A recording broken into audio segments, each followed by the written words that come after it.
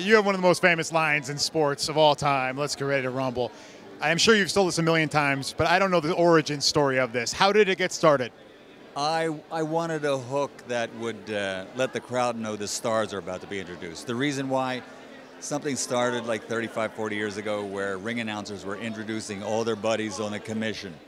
And it got to a point where after the excitement of the fighters coming to the ring with all the music and, and uh, electricity, boom, you have to kill the crowd by introducing uh, not just the judges and the referee, which, uh, but the members of the commission and the doctors and the promoters and all that.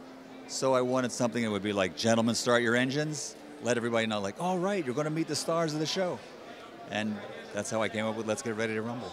Was there ever anything that was almost let's get ready to rumble? Were there any other things you tried? Oh, yeah, yeah. Some real clunkers like uh, man your battle stations or fasten your seatbelts, you know. And it was like crickets, you know. So uh, they didn't work. And, you know, the, the great Muhammad Ali used to say, uh, I'm ready to rumble, rumble, young man, rumble. So there, there was that word in the lexicon of boxing, and I sort of fine tuned it to, uh, to what we have today.